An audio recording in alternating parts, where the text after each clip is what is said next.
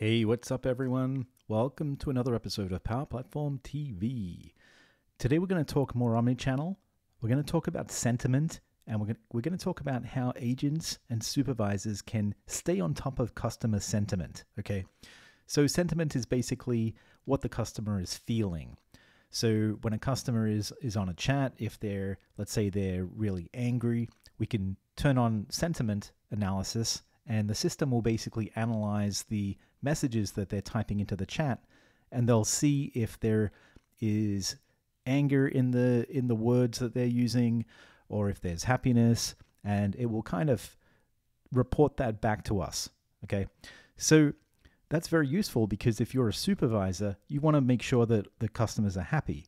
And when we turn on sentiment tracking here we'll see that if there is a an unhappy customer then supervisors can be alerted regarding that conversation, and then they can take measures and actions to uh, to basically fix the customer's happiness level. So here we are in the Omnichannel Admin app. What we're going to do is scroll down here, and we're going to go to Sentiment Analysis Settings here. Okay, so let's go and click on that, and it takes us over here, and we can see here. Here is the setting that says Sentiment Analysis agents and supervisors can see customer satisfaction levels instantly while communicating with the customer okay?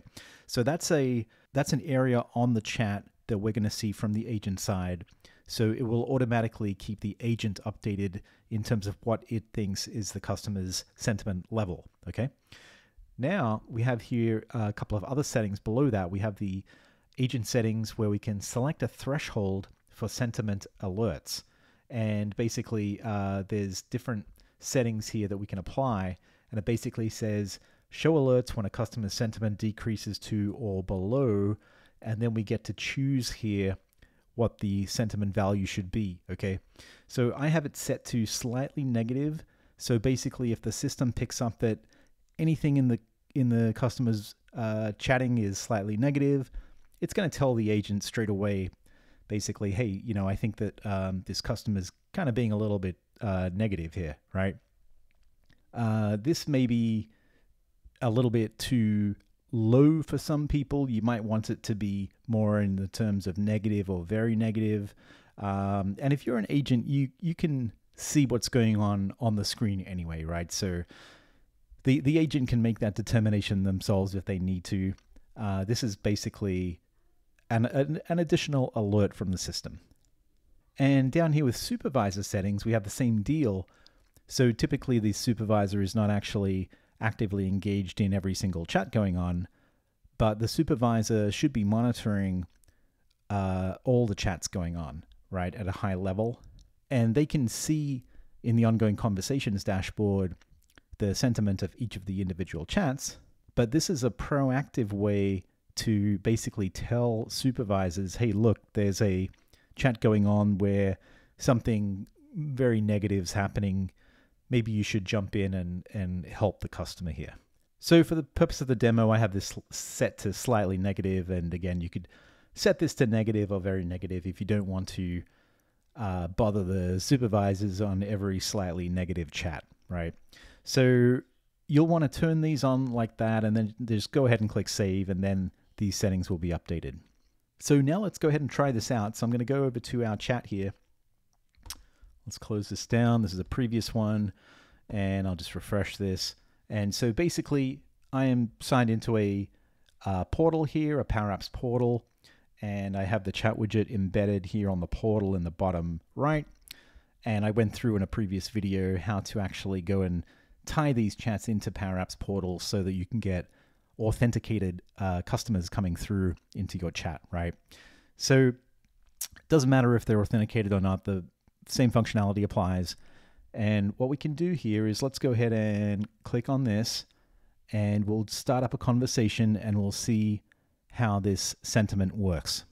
All right, so here's our chat that's coming through, and this is our agent, Alicia. She's going to click accept, and we're going to see here the back and forth uh, going on. And you can see here on the on the omnichannel uh, ad, uh, agent app here, there is nothing where it says visitor two and we have the countdown. There's nothing next to it that's showing sentiment right at this point in time, but we'll see that it will start. Okay. So I'm going to say hi here.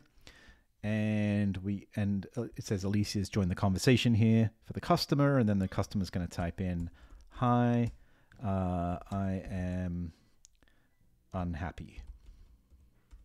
Okay, so they go ahead and type this, and then if we go back to what the agent is seeing, we can see here that the agent sees this slightly negative uh, sentiment being reported here by Omnichannel. Okay, so straight away, uh, we know that this is going to be a bit of a challenging conversation. And we can also see that there's this uh, exclamation that comes up here, and it says uh, basically, if you hover over it, urgent attention is needed in your conversation, right? So that's really useful. You know, an, an agent could have multiple uh, conversations going on at the same time, and they may be on a different tab talking to a different different customer, and then uh, this customer says, "Hey, I'm really unhappy," and then you can see straight away that this is going to require some pretty immediate attention from the agent.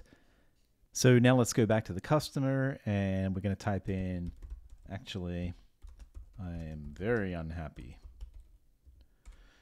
So now it's probably going to take this to a new level of uh, unhappy sentiment. So if we tab over to the Omnichannel app and we have a supervisor logged in, we can see that they get this sentiment decreased message here in the top right, okay?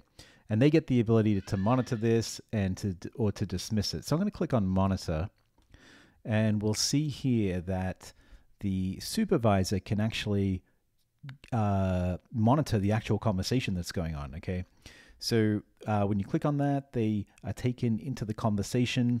The uh, nobody knows that they're there at this point in time. They're just basically monitoring this and and seeing what's going on, right? And then you can see here that the uh, they have the full conversation history, so they can take a look here and make sure that the agents are, are doing the right job. Okay, um, and then they have these two options here at the bottom. One is uh, join conversation, and then the other one is join consult with agent. Okay, so they could uh, let's go ahead and click this first one here, and it says joining, and now we're in a consult session so this is like a one-to-one between the agent and the supervisor, and the agent can type in, uh, hey, everything okay here?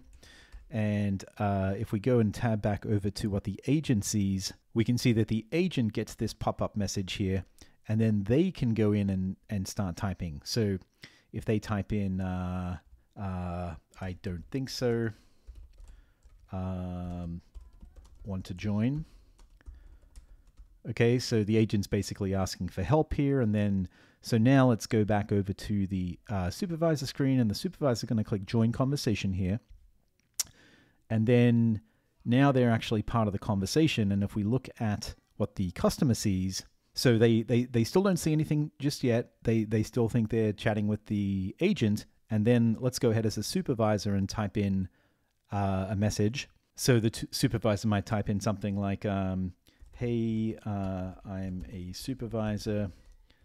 Can I help you? And then they'll send that off. And then we can see here that uh, that David has joined and he's introduced himself to the customer, and then he can go and appropriately deal with this.